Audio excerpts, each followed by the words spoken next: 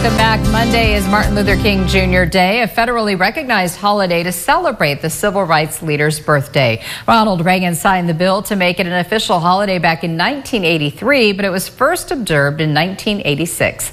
The city of Bakersfield's administrative offices, including City Hall North, will be closed on Monday, but trash service will not be impacted by the closure. Schools, including Bakersfield College and Cal State Bakersfield, will also not have classes on Monday, and government offices like the post office and DMV will be closed.